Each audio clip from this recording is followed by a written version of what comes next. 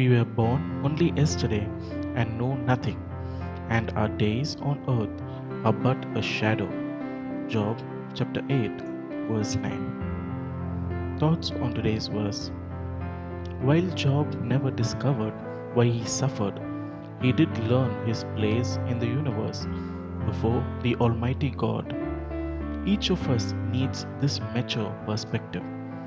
When we are young, time seems to pass very slowly, especially if we are excitedly waiting for something special.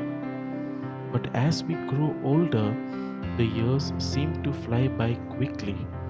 Regardless of our learning and experiences, humility about our place in the passage of time should lead us to two great awakenings.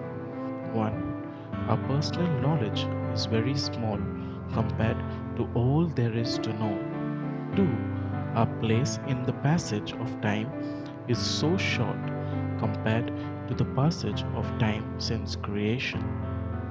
These awakenings should prepare us to turn our lives and futures over to God, who longs to bring us to Himself and share the greatest part of eternity with us. We may be a shadow, but God also claims us as His children.